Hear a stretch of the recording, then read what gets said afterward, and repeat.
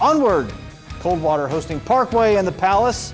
Cavaliers, we picked this one up with a five-point lead. Riley Samples getting the pass and laying it in. Then Gabe Schaff hitting the jumper inside.